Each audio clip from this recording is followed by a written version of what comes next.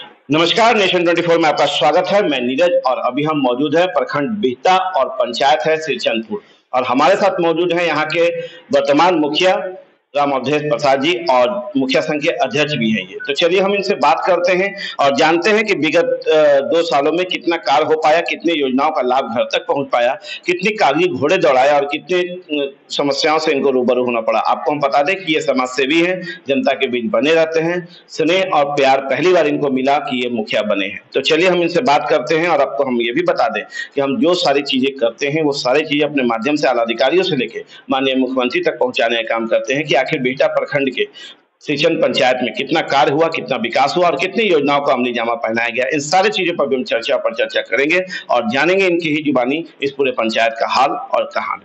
Nation sir, 24 में sir आने के लिए बहुत सबसे पहले आपका स्वागत है और मेरे तरफ़ से धन्यवाद है। जी मेरा पहला सवाल है पहली बार जनता ने आप पे विश्वास जताया और जीत के आप मुखिया बने।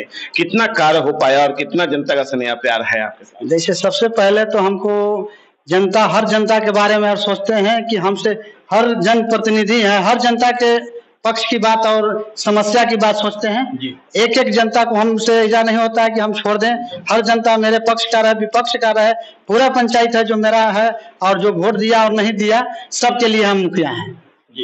और समस्या हमारे पंचायत में सेवेंटी नाइन्टी नाइन परसेंट था उससे हम लोग अभी पचास परसेंट से ऊपर निदान कर दिए हैं। आज जो बचा हुआ है साल से दो साल में हम सब निदान कर देंगे चलिए मतलब यहाँ समस्या ज़्यादा था पहले के मुकाबले? पहले जो भी मुखिया रहे थे शायद वो कार्य पूरा नहीं कर पाए थे इसलिए समस्या बनी हुई थी। पर इनके आने के बाद ये दो सालों में फिफ्टी परसेंट कार्य को जो है अंजाम दे चुके हैं और विकास कर चुके हैं। और फिफ्टी परसेंट जो है इनका कहना है कि हाँ, दो साल होते होते जो है उसे हम पूरा कर देंगे। देखिए जब हम इंटरव्यू करने के लिए जब मुखिया जी के साथ जब साक्षात्कार करने के लिए तो जनता भी साथ में थी और जनता को ने भी आग्रह किया कि हम भी आना चाहते हैं मुखिया जी के समर्थन में साथ में दिखना चाहते हैं। तो हमने कहा कि आप पीछे देख लीजिए कई लोग हैं जो पीछे बैठे हुए हैं हमारे साथ और इनके साथ मुखिया जी के साथ और उनकी बातों को भी सुन रहे हैं और इनका बैठने का मतलब ये होता है कि ये उनको समर्थन कर रहे हैं कि हाँ मुखिया जी ने विगत दो सालों में पचास परसेंट काम किया है। अब हम योजनाओं पे बात करते हैं। स्वच्छता का निर्माण हो गया क्या? हाँ, हमारे यहाँ शुरू काम हो गया और स्वच्छता के लिए हमने यहाँ डस्टबिन को जो है सबसे पीछा काम अभी किया है। इसीलिए कुछ विलम्ब से काम चालू है लेकिन स्वच्छता बन रहा है। जिम का? जिम हमारे यहाँ अभी जिम नहीं लगाई लेकिन कुछ कोसा में राशि कम था इसी के चलते जिम का भी काम नहीं हुआ है। गली नली कार्य हुआ? हाँ गली नली के काम हमारे पंचायत में पचास परसेंट से ज़्यादा हम कर चुके हैं कर चुके हैं। हाँ। और जो बचा है वो बचा है वो हम कर देंगे साल से सवा साल में और कर देंगे कुआँ का जीर्णोद्धार?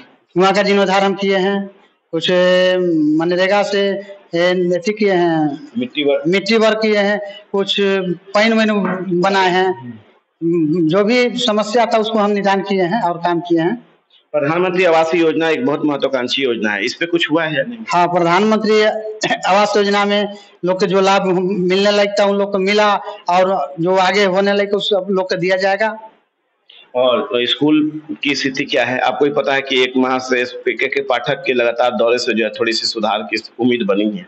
आपके यहाँ का क्या स्थिति है? हमारे यहाँ स्कूल का स्थिति सबसे पहले तो भ्रष्ट यहाँ का जो बीओ है बीओ ही भ्रष्ट है कि हम लोग हर स्कूल में जाके निरीक्षण करते हैं और देखते हैं तो कहीं ना कहीं बीओ का कमी हमको बुझाता है और शिक्षक का कमी होता है। तो उस पर हम लोग कार्रवाई करते हैं। लेकिन तैयो बीओ की इसमें अभी विशेष भूमिका गलत है। क्या मतलब वो सहयोग नहीं करते हैं? सहयोग ना हर हर वार्ड बोले जाके स्कूल में देखिए तो कहीं ना कहीं कोई बीओ के लेकर समस्या है कहीं टीचर नहीं है कहीं टीचर गायब करके कुछ पैसा लोग गमन कर रहे हैं कहीं टीचर को पेमेंट देते हैं और टीचर नहीं आ पाता है। ये समस्या ये समस्या है। अभी तो टीचर थोड़ा सा शांत हुए आ रहे हैं। हाँ समस्या लेकिन अभी टीचर का कमी है हमारे पंचायत में। आपके पंचायत में कमी। है और इसका शिकायत हम बीओ साहब को करते हैं। आपके यहाँ सामुदायिक भवन की क्या है? सामुदायिक भवन है लेकिन उसमें अभी स्थिति जर्जर है उसको हम रिपेयरिंग के चक्कर में लगे हुए हैं कि इसका रिपेयरिंग करके और इसका ठीक कर दें हम। जी। और मनरेगा भवन कृषि भवन के भी हालात मनरेगा भवन हमारे यहाँ भी नहीं है लेकिन बनवाने का स्थिति में है कि एक मनरेगा भवन हम बनवाते हैं पंचायत में और कृषि भवन है कृषि भवन अभी चल रहा है वहाँ बैठते उठते हैं लोग। पंचायत सरकार भवन? हाँ, सरकार भवन मेरे यहाँ है जो है? चालू है और उसको हम देख रेख करते हैं और उसमें भी अथी के लिए टेंट पहुँचाड़ा के लिए हम उसका डाल दिए हैं। तो योजना में डाले हैं। योजना में हाँ योजना में डाले हैं। उसको ठीक करने के हाँ ठीक करने के लिए।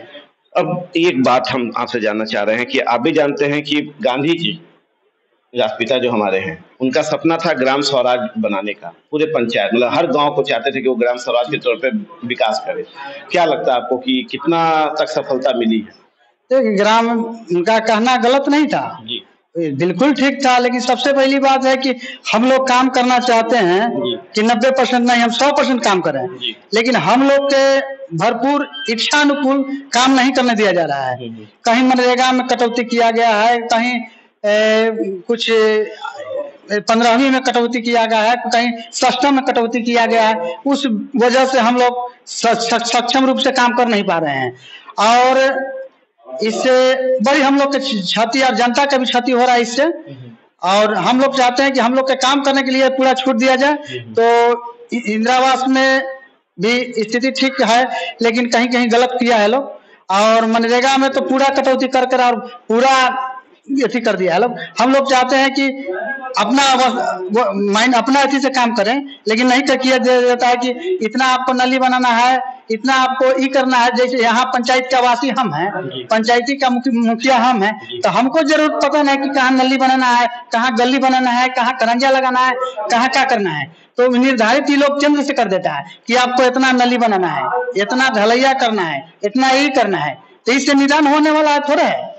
यहाँ का मुखिया को इस, इसका अधिकार दिया जाए। तब जाके यहाँ स्वराज ग्राम बने चाहे विकास विकसित बने चाहे पंचायत विकास हो तब होगा। चलिए बहुत बड़ी बात मुखिया जी कह गए हैं कि देखिए, जो स्थिति अभी पहले के समय में थी, जो सपना था, वो सपना पूरा होता है।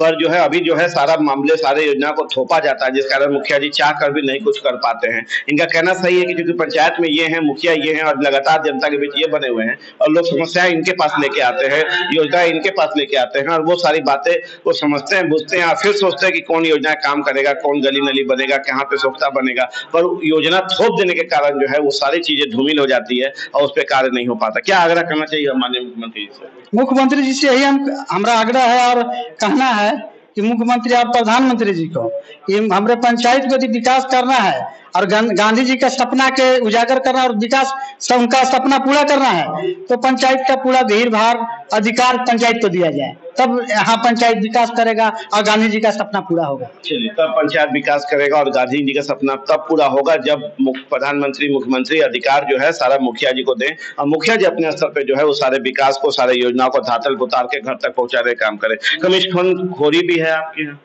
घूसखोरी पहले था लेकिन घुसखोरी हम हमको मुखिया बनने से बड़ी घुसखोरी खत्म कर दिए हैं।